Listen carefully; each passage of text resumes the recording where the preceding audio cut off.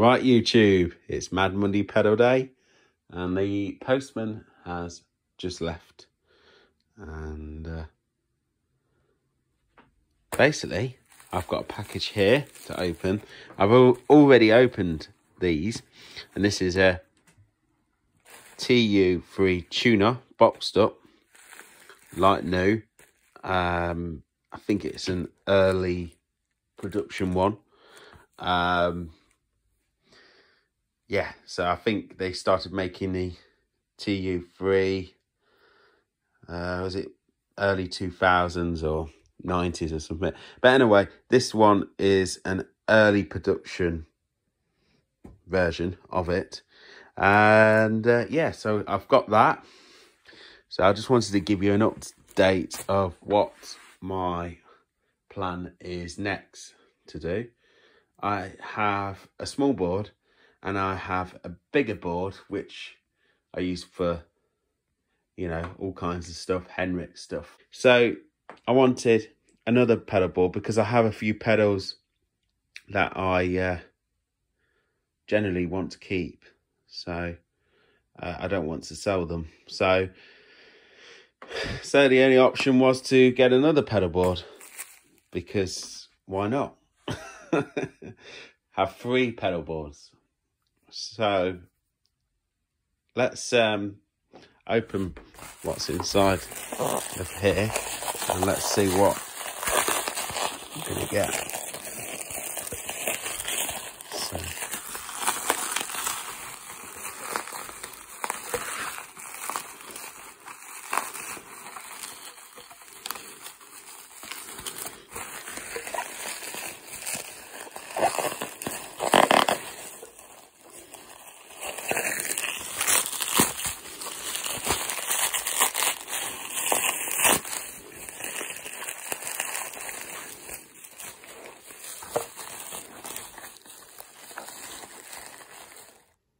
So I've managed to take the uh,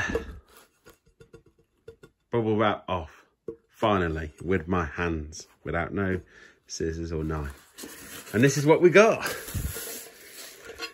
We've got an aluminium pedal board this time.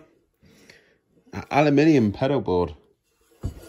Why not? Nice and strong, easy to wipe. Yeah, so let me grab some more pedals and I'll show you what my plan is. And uh, then the next video will be um, an update on everything. So YouTube, the pedals I have currently and the plan is to have them in this order is the Boss Tuner first, a buffered pedal. That's a true bypass pedal. That's a Mad Professor big Tweedy drive. And then we got the MXR Distortion Plus, which is a cracking pedal. Really love it. Um, with that stacked with the Distortion Plus, it just sounds magic. This sounds magic on its own, to be honest. Um, that's why they sold so many back in the 80s and the 70s. But, um, yeah, with a driven amp or let's say with this pedal, because that's what this amp, uh, sorry, that's what this pedal is. It's took after, you know, a 50s Fender tweed amp, big tweedy drive. Uh, this sounds magic. And then obviously I've got an analog chorus, pink labeled one, uh, an early one um, which I picked up. And that's going to go after these two here. Uh, and then I've got space, I guess, for two more, I think. Um, I do have a Japanese uh, Boss OD2, which I'll probably put either there or after the chorus. Uh, we'll see. We'll see how it plans out. Or I do have MXR distortion. Um, this is a prime distortion pedal. And then I have a Boss fuzz pedal, but I probably wouldn't put the fuzz pedal last anyway. But just shows you that it can take six pedals. Um, and yeah, it's going to look great when it's finished. Really excited. I only buy pedals which have a bit of character to them. I like the pedals they don't make anymore, a little bit. a little bit. I like this pedal though, it's really cool.